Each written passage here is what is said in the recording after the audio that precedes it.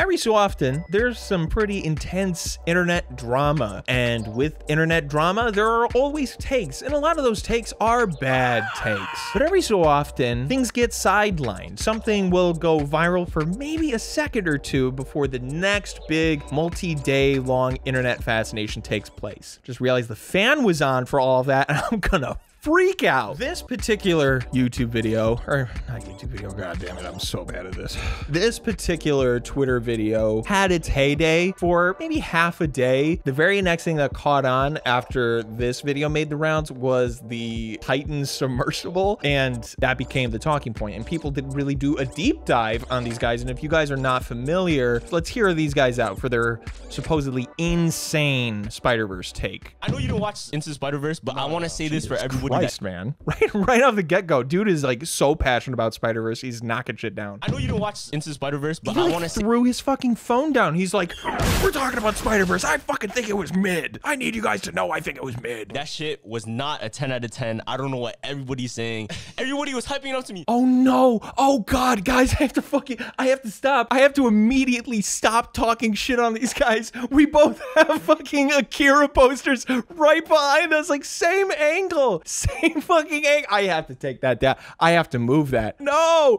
No! Oh my credibility, no! It's a good movie. Broken clock right twice a day, yeah? Let's just get back into it. 10 out of 10. Best Spider-Man movie ever made. I disagree. It should have been a 10 out of 10 for me. I feel like they catered it towards the kids that have no attention span. Oh, really? So it was like Yeah, there was storyline, but the storyline was so it's hard to pay attention because there's so much going on. I don't even think that's a, a crazy take. I don't even necessarily disagree with it. I feel like there are a lot of, you know, uh, moving, what do, you, what do you call that? There's a lot of factors, there's a lot of moving balls, moving parts. Balls on the brain, Andy over here. But there are a lot of moving parts in Across the Spider Verse, and I feel like it does sort of convolute the story a little bit, but it's not necessarily hard to keep track of. I just feel like they introduce like way too much. I don't even think what this guy is saying here is necessarily totally unreasonable, which is going to be in stark contrast to the next thing you're going to hear. The animation was amazing. It's 11 out of 10 animation. Don't get me wrong. I already knew it wasn't gonna be a top Spider-Man because it was cartoon style. No, Like, but actually, what's crazy? Uh, what, dude? What? Run that. Ba- Let me hear that shit again. Let me hear that bullshit again. I already knew it wasn't gonna be a top Spider-Man because it was cartoon style. Because it was cartoon stuff. A crazy way to refer to animation. Cartoon style. Cartoon style? Do you mean what the uh, the style that Spider-Man originated in? Do you mean the the style that Spider-Man media is predominantly produced in? That is Spider-Man style. What are you talking about? When I tell you, this is only the tip of the iceberg with these with these gentlemen and and some of the takes that they have. It gets worse because I have seen them before. This just so happened to pop up on my Twitter timeline, and I was like, oh my fucking God, it's these guys again. I know them from other TikToks because these guys have some pretty elaborate theories about secrets of the universe and how they tie back to uh, Andrew Tate or Donald Trump. There's a prophecy about two people that will signal the end of days. The Bible predicts that two witnesses will be released into the earth. They're the able to power shoot fire out of their mouths. Every time they say, yo, there's this thing that signals the end of days, it's like, uh, citation needed, citation needed, citation needed. Don't mean to be the uh, nerd react emoji here about this, but um, hey, like what? Where, where are you getting this? God told me that this is true. That's my citation. They're the able to power shoot fire out their mouths. If we look at the disasters that have been going on, from viruses to earthquakes, and if we look at the most influential people This in is the current scary, day and bro. age, the question What we the should fuck? be asking ourselves is, Think about it. We're two people. You saw the picture? Two people. And Boy, a get- ministry like a cult, uh-huh. so big, so much power, so much influence. I could maybe hear a parallel to Andrew Tate. Who is the second guy? Is it Tristan Tate? and if we look at the most influential people this in the is current scary. day Who is that? As somebody who has watched plenty of material regarding Andrew Tate, regarding the manosphere, listening and watching to other commentators talk about this stuff, this is the most pervasive that this content has ever been, like toxic masculine content. I don't know who that fucker is. Is that Tristan Tate? He cannot be one of the most influential people in the world if he's so outshined by Andrew Tate. There you have to have someone at Andrew Tate level. And if his brother isn't at that level, I don't think they're both prophets. They're both messiahs, right? Because one definitely steals the show. Think about it. We're two people. You saw the picture? Two people. And Boy, a again. ministry like a cult, uh-huh. so big, so much power, so much influence. You can make that parallel to like any podcast with two people who are two people. They have like a following, they have like a ministry, they have like a cult. Cody Cohen, Noel Miller, TMG podcast. They kind of market it as a culty thing too. Jared Leto and uh, whoever else is in uh, 30 Seconds to Mars. It doesn't matter if they both have to be famous. One of them has to be famous, as as evidenced by uh, the Tate brothers. Joe Rogan and Jamie, two two guys with a podcast. Jamie, Jamie I don't know what Jamie does. I don't fucking watch Joe Rogan. But like Joe Biden and Kamala Harris, plenty of people, man. Zelensky and fucking vice president of Ukraine. I don't know. If Biden could shoot fire from his mouth, he'd probably forget how to do it a few seconds after he got that ability. Remember shoot fire out their mouth? I'm like, that's weird, right? But the Bible always does that. The Bible always like exaggerates something. Mm-hmm. Shooting fire out your mouth, that's like speaking and using your voice to oh. cause fire, bro. I- I like that they made it more complicated than it needed to be. Shooting fire from your mouth. Easily, you could have made the the the connection there. Like dudes who spit fire, like Andrew Tate, but no, like went all the fucking way around. It and like makes it seem like he's grasping at straws harder than he even needs to be. I feel like you can make a like a good case there for like uh, Tate being a fucking messiah by being a guy who shoots fire from his mouth because he spits fire to fucking make it such like a weird workaround like shooting fire doesn't actually mean uh, spitting fire it means talking that causes fire it catches like fire and it spreads like wildfire and i feel no man like fucking you you you you are making it more complicated than it needs to be. I should be the conspiracy theorist because you guys aren't good at this. I can close the loops. I can i can advocate for fewer degrees of separation to make you guys sound not crazy. QAnon hire me. Put me on your payroll. It catches and burns. Oh, the fuck was the sicko mode at the end? What was that? There's it gets worse. Don't worry. If that doesn't doesn't already sound unhinged, it gets worse. There's a theory that Donald Trump's son is a time traveler. There's proof? There's a book that came out. It's called The Last President. In the book, the main character, his name is Barron. He has a mentor and he teaches him about time travel. His mentor is named Don. Donald Trump's son is oh. named Barron Trump. Let's let's just fact check this real quick, okay? If this reminds you of attitudes after the 2016 Trump presidential win, you are not alone. During 2017, this book, as well as Lockwood's two children, the travels and adventures of little Baron Trump and his wonderful dog Bulger, and Baron Trump's marvelous underground journey drew attention due to its uncanny connection to President Trump and his family. Does this book foresee Donald Trump as the last president of a republic as we know it? Uh, is this a bizarre coincidence or prophetic? Let the reader decide. Oh, hey Google, that's really irresponsible.